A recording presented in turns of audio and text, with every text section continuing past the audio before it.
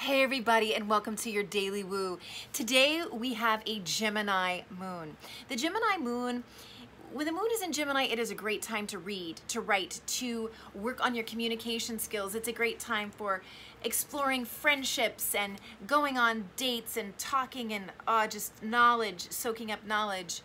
My Jupiter is in Gemini, so I could go on all day about the benefits of the sign of Gemini and how we can utilize it to better ourselves. Today, I'm going to be recommending two books. Now, on my website, the videos are and the content are divided into two sections. One is Mood School and one is Spirithood. So, Mood School is all about how we can gain emotional and mental mastery in our lives. I am recommending the book The Mood Cure by Julia Ross. This book will change your life. If you are somebody who experiences depression or seasonal depression, anxiety, insomnia, this is your book because so often the medications that are prescribed have horrible side effects and that are cumulative over time and we need natural solutions. Well, this book has it in spades. Literally, it's as simple as the amino acids that our body stops producing because of the stress of modern day living. And we can easily supplement those amino acids and you will not need prescription pharmaceuticals that can harm you. So please take a look at this book, The Mood Cure by Julia Ross. I'm, I mean, I read it I think I read it within two nights. And it's literally as simple as everything she recommends you can get at a health food store or over the internet. And no, nothing has a side effect and it's totally effective.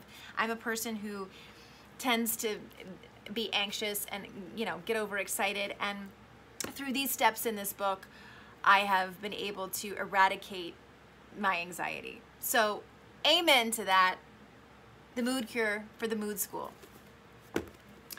Now, the next book I'm going to recommend is Shortcut to a Miracle. And this is the Spirithood section because this teaches us how to program our brain to work for our soul.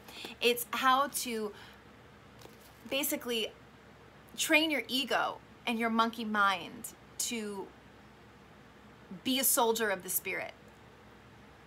And how to align with miracles, because just like abundance is a stream a vibration that we have to raise our, our vibration to align with, this vibration of miracles, it's the same.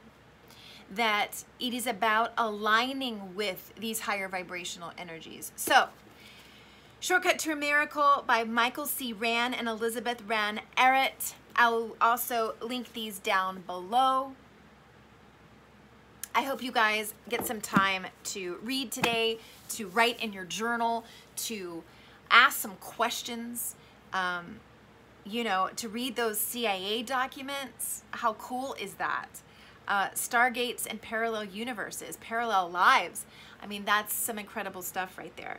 So use today to educate yourself, to better yourself, to to motivate your mental body to be in allegiance with what your emotional and spiritual body need. And I'll talk to you guys tomorrow.